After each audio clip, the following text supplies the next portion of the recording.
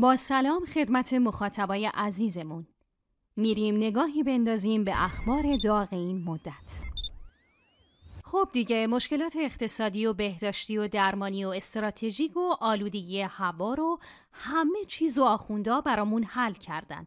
الان دیگه نگران حال روحیمون هستن و وارد حوزه روان درمانی شدن.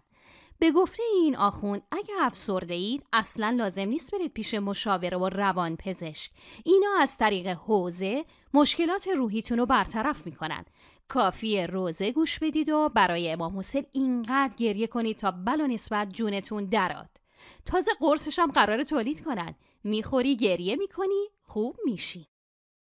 الان مشکل چیه؟ اجاره خونه عقب افتاده هزینه درمانی کمر شکنه بیکاری؟ بدهکاری اصلا نگران نباش. برای امام حسین گریه کن خوب میشی.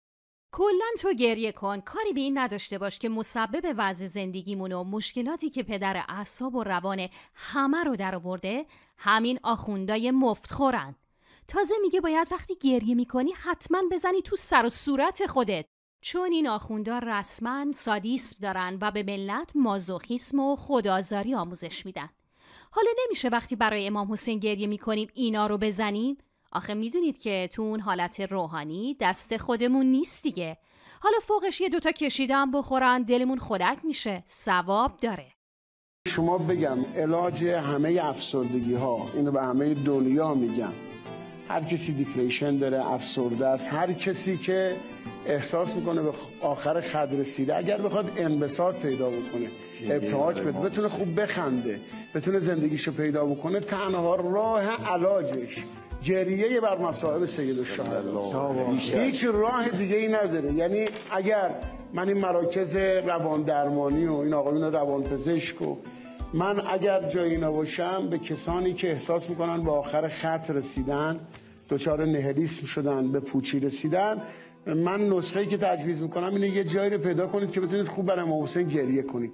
و کسی خوب می‌تونه بخنده و خندش حقیقیه و تصنعی نیست با تکلف نیست که خوب برای امام حسین گریه کرده باشه. شما شادترین من دوست دارم پشت پرده بچه های مذهبی رو ببینی.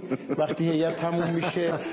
من آرزو می‌کنم یه دوربین باشه. بیاد فیلم برداری بکنه از این حیات مذهبی و ببینید بانشادترین خندهدارترین آدما جذابترین آدما کسانی هن که عرق کرده با چشمای ورم کرده میان و حالا نشستن و اینم برای اینکه نمیشه کنترل کنن خودشونو. یعنی یه ابتهاجی دارن زاید الوصف البته ما خیلی وقت با دیدن زندگی انگلزاده هاشون داریم می‌زنیم تو سر خودمون مثل منیره علوی دختر آخون سید محمود علوی وزیر سابق اطلاعات که سوار بر رولز رویس نیم میلیون دلاریش زندگی فوق لاچریش رو به رخ مردم می‌کشه. منیره علوی و احسان سخایی داماد فراری وزیر سابق اطلاعات از برکت میلیون ها دلار پول دزدی بیت المال و مفتخوری از سفره انقلاب تو سوئیس مشغول عشق و به ریش ما میخندن. درمان درد مردم ایران رفاه و زندگی مثل آدمیزاده. اگه گریه برای حسن و حسین درمان درد بود چرا این آخوندا و طولهاشون برای چکاپ پزشکی و معالجه درد و مرزاشون میرن اروپا و کانادا؟ برن قوم گریه کنن خودزنی کنن دو تا هم نسخه و نوبت بشکه از حوزه بگیرن خوب میشن. هنوزم میگین اسلام با اون اسلام فرق داره؟ اینا خرابش کردن؟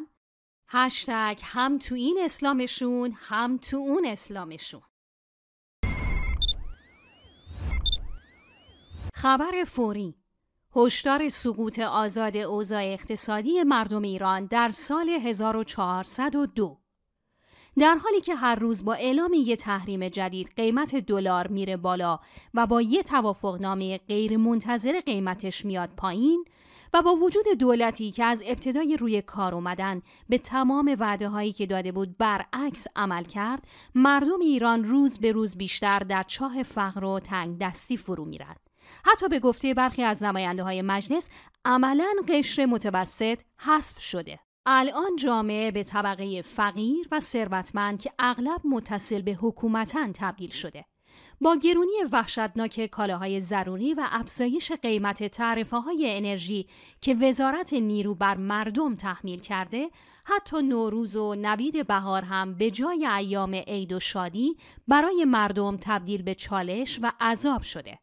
بر اساس داده های مرکز آمار ایران تورم نقطه به نقطه در بهمن 1401 در قیاس با بهمن سال 1400 در سطح کشوری 53 و 4 درصد و در حوزه شهری 52 و 7 درصد و در حوزه روستایی 56 و 7 درصد اعلام شده. ارقامی که در تمامی حکومتها و دولتهای ایران از زمان جنگ جهانی دوم تا امروز بی سابقه بوده و رکوردی تاریخی محسوب میشه که به شدت نگران کننده است. چیزی که این رقم رو نگران کننده تر می‌کنه پیشبینی افزایش احتمال وقوع ابر تورم در سال 1402 و تحمیل فشار شدیدتر اقتصادی بر دوش مردمیه که دیگه تحمل گرونی و مشکلات معیشتی بیشتر رو ندارن. کارشناسای اقتصادی در این زمینه همگی عقیده دارند بودجه سال 1402 بر اساس میزان درآمدی غیر واقعی تنظیم شده و کشور رو در سال جدید با کسری بودجه بزرگی روبرو می‌کنه که جبران اون به این راحتی نیست و نیازمند چاپ پوله اما با چاپ پول و ادامه وضع کنونی که دولت رئیسی در پیش گرفته نرخ تورم به 60 الی 70 درصد می‌رسه. وقوع این افزایش افسار گسیخته تورم به رکود بیشتر و افزایش شاخص فلاکت منجر میشه. گرچه فشار بر مردم در سال 1401 وخیم و غیر قابل تحمل بود اما گرونی و فشار معیشتی در سال 1402 باز هم فراتر از انتظاره در صورتی که دولت جلوی این روند نگیره بازگشت قشر معترض به خیابونا حتمیه اما معلوم نیست آستانه تحمل قشر خاکستری کی قرار تموم بشه. حالا باید دید آقای رئیس جمهور بیکفایت یعنی ابراهیم رئیسی و کابینه بدرد نخورش که از ابتدای روی کار اومدن تا امروز یک نقطه مثبت در کارنامهشون نداشتن چه تدبیری برای این وضع در نظر گرفتند گرچه اینا کلا با کلمات تدبیر و مسئولیت بیگانن و هر کدومشون به جای رسیدگی به مشکلات و حوزه وزارت خودش مشغول اظهار نظر و فضولی در سایر اموریه که هیچ ربطی بهشون نداره. حتی فراتر از اون رسما خودشونو پاسخگو نمی‌دونن و مثل محمد مخبر که خیر سرش معاون رئیس جمهوره یا میگن همینه که هست و یا مردم رو دعوت به تحمل فشار بیشتر می‌کنن. یعنی رسما بار تمام مشکلات مدیریتی مملکت رو انداختن روی دوش مردم. با دیدن عملکرد رئیسی و کامینش به نظر میاد اینا اصلا کاری به حل مشکلات معیشتی مردم ندارن. انگار فقط اومدن یه موز بردارن و برن. ولی اینطوری که دولت به بهانه مبلد سازی برای چاپیدن اموال عمومی و ملی خیز برداشته که حتی تنها کلیسای شهر گرگان هم حراج کرده نشون میده متاسفانه به یه موز قانع نیستن و اومدن رسما همه چی رو بالا بکشن. باید دید در سال جدید با اتمام تعطیلات نوروزی و شروع افزایش شدید قیمت ها آیا مردم مخصوصا قشر خاکستری میان کف خیابون یا بازم جا داره تا به قول معاون رئیس جمهور فشار بیشتری تحمل کنند. هشتگ بس دیگه تحمل نقشه جدید خامنه ای برای روابط ایران و عربستان سعودی آیا روابط دو کشور بر پایه الزامات جغرافیایی سیاسی و همسایهداری استواره یا تصمیم شخصی خامنه ای و سیاست پشت پرده غربی ها؟ بیانیه سهجانبه از سرگیری روابط ایران و عربستان سعودی با میانجیگری چین که در تاریخ 19 اسفند 1401 صادر شد چندین نکته داشت که مهمترین اونا عبارتند از تأکید بر احترام به حاکمیت کشورها، مداخله نکردن در امور داخلی اونها و فعال کردن توافقنامه همکاری امنیتی که در سال 2001 بین عربستان سعودی و ایران امضا شد. این توافقنامه قبلی که مربوط به زمان ریاست جمهوری حسن روحانی به توافق نایف و روحانی معروفه و موضوع اون مبارزه با جرایم سازمان یافته، تروریسم، قاچاق اسلحه، مواد مخدر و پولشویی که در زمان سفر شاهزاده نایف ابن عبدالعزیز آل سعود وزیر فقید کشور عربستان سعودی در تهران امضا شد. البته همونطوری که از موارد ذکر شده در توافقنامه معلومه از اونجایی که جمهوری اسلامی خودش سردسته تروریستا و قاچاقچیا و خلافکارای منطقه است انگار عربستان سعودی باید اول از همه با جمهوری اسلامی مبارزه کنه در اون زمان شاهزاده نایف ابن عبدالعزیز بعد از امضای این توافقنامه به خبرنگارا گفت این توافقنامه امنیتی در خدمت منطقه است و روابط عربستان سعودی و ایران رو تقویت می‌کنه.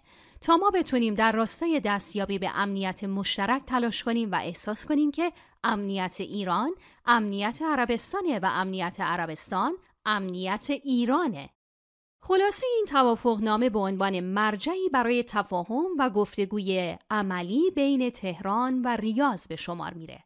به طوری که اگر تمامی موارد اون به صورت جدی عملی بشه می‌تونه فضای اعتماد بین دو کشور رو که در سالهای گذشته خدشهدار شده بود به تدریج ترمیم کنه. در واقع هدف از بیانیه‌ای که در پکن منتشر شد تلاش برای احیای توافقنامه دوره حسن روحانی و بازگردوندن روابط تهران و ریاض به مسیر جدیدی بر اساس احترام متقابل و گفتگو برای حل مشکلات بین دو کشوره که دستاورد مهمی برای بازگشت آرامش و امنیت به منطقه محسوب میشه. حالا باید دید با این توافق که گرچه با فشار پکن طرفین پای میز مذاکره و امضا نشستن اما رد پای دولت بایدن در اون مشخصه. آیا باز هم خامنه ای در سخنرانی های آیندهش به آل سعود بد و بیرا میگه و تهدید می‌کنه؟ آیا باز میگه آل سعود یه مش پست محکوم به فنا هستن؟ یا از این به بعد جانب احترام و احتیاط رو رعایت می‌کنه؟ اینطور که معلومه رهبر جمهوری اسلامی برای باقی موندن حکومت فعلا زیپ دهنش رو کشیده و بعد از ضربه اعتراضات مردمی دنبال تجدید قوا از طریق توافق با کشورهای منطقه است. به طوری که به سرعت بعد از توافقنامه پکن با مادی و هم وارد مذاکره شد و توافقنامه امضا کرد. چون چیزی که معلومه اینه باج دادن به حسن نصرالله و حزب الله لبنان و روسیه سر سوزن در بزنگاه اعتراضات و فشارهای بین المللی و تحریم به دردش نخورد و بازم دست به دامن کشورهای منطقه و چین شد. باید دید خامنه ای و آتش به اختیارهاش تا کی می‌تونن سکوت کنن و باز با یه حرکت انقلابی کاسه کوزه روابط تهران و ریاض و به هم نریزن. چیزی که مسلمه هیچ کدوم از این توافقنامه ها به نفع مردم ایران نیست. چون حتی بعد از آشتی حکومت ایران و آل سعود که منجر به کاهش قیمت دلار شد، همچنان شاهد صعود و افزایش قیمت کالاهای ضروری و خدمات هستیم.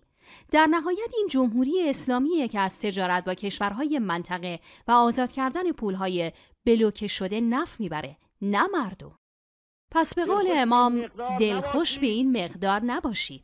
هشتگ راه حل اعتصابات سراسری. تا خبرهای جنجالی دیگه بدرود. یادت نره ایران دیگی رو به دوستانت معرفی کنید